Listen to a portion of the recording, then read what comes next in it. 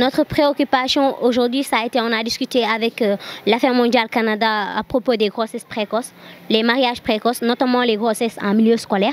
Parce que nous, euh, jeunes filles, on est formés euh, au CCA pour pouvoir parvenir à aider nos camarades. Parce que les enfants sont plus réceptifs à écouter leurs camarades.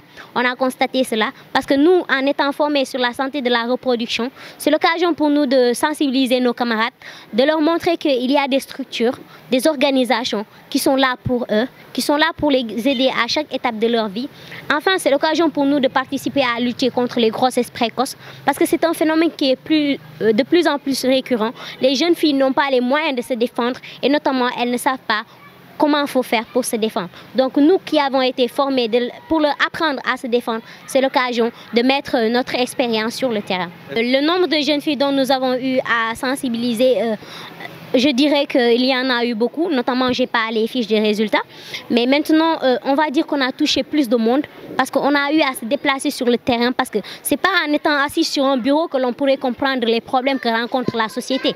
C'est l'occasion pour nous, jeunes filles, de nous déplacer, d'aller vers euh, nos camarades, de discuter avec eux, de savoir quels sont les problèmes qu'ils rencontrent. C'est aussi l'occasion de prendre en compte leurs opinions.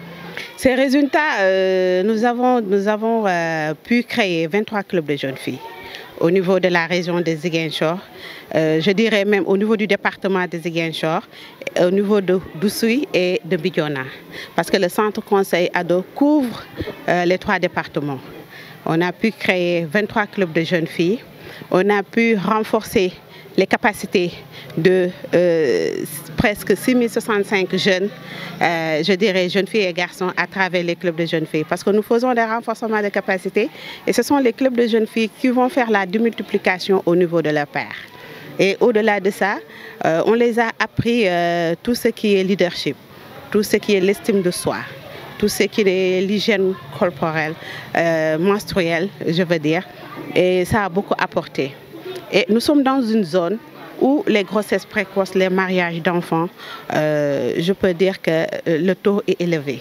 Et c'est avec ces clubs de jeunes filles que nous sommes en train de combattre tout ce qui est violence, tout ce qui est mariage d'enfants, tout ce qui est euh, l'excision, je veux dire les mutilations génitales féminines.